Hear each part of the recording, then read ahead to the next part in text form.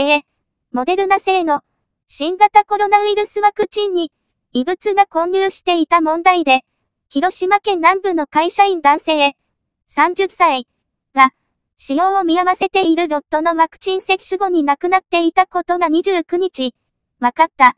厚生労働省が28日に公表した30代男性2人の死亡事例のうちの1人とみられる、会社員男性の父親、63歳、が中国新聞の取材に応じ、息子を突然亡くした悲しみや接種後のケア体制などについて、胸の内を語った。父親によると、男性は県内の職域接種会場で、7月18日に1回目、今月22日に2回目の接種を受けた。23日に40度を超える熱が出て、勤め先を欠勤。市販の解熱剤を服用したところ、24日には平熱に戻り、出勤した。その夜、は自宅で母親、62歳、と夕食をとり、午後7時半頃に自室へ戻った。25日朝、起こしに行った母親が布団の上でぐったりしている男性を発見。死亡が確認された。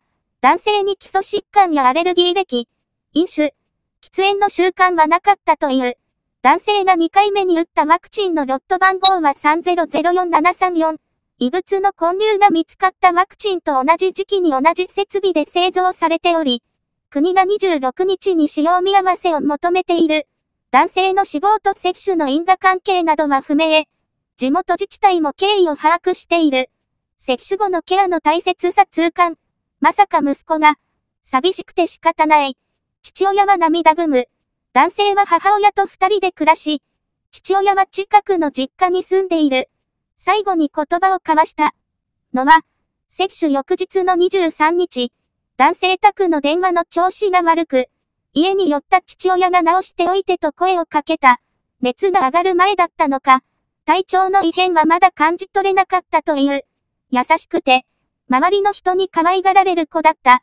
あれっきりになるとは思いもしなかった。家族思いの男性は約3ヶ月前、コロナが落ち着いたらみんなで旅行がしたいと、大きめの車に買い替えたばかりだった。男性の死後、母親はその車の鍵を見るたびに胸が締め付けられるという。父親は6月頃、男性に機会があれば接種を受けた方がええよと進めていた。地元自治体の当時の接種対象は高齢者だったこともあり、男性はほうじゃねとだけ応じた。私が言ったから、職域での接種を受けたのだろうか。後悔の念に苛まれながら、ワクチンの副反応の説明や、接種後のケア体制の大切さを痛感しているという。自身も同じ職域接種会場で、男性が受けた6日前に2回目のワクチンを接種。該当ロットだった。翌日に発熱し、40度を超えたものの、大事には至らなかった。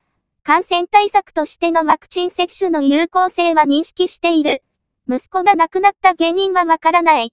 誰を恨むこともできんし、悪いのはコロナだと思っている。この事実を伝えることで、より安全な接種になればいい。厚労省と、国内の販売や流通を担う武田薬品工房は、28日に発表した男性2人の死亡事例について、ワクチン接種との因果関係を調べるとしている。